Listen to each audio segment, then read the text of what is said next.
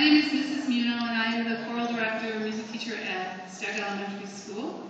Today we have here on the stage the students from Steck, McCarty, and Georgetown.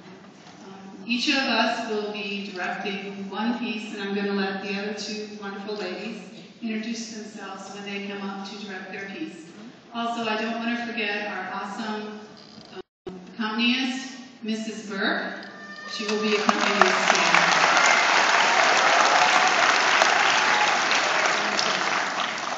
Um, before we begin performing this morning, we'd like to express our sincere gratitude to the Indian Prairie Educational Foundation for their continued support of the Fine Arts District 204.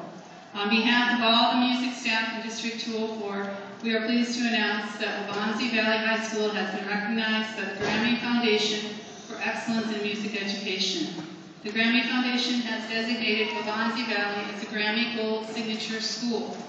This is a reflection.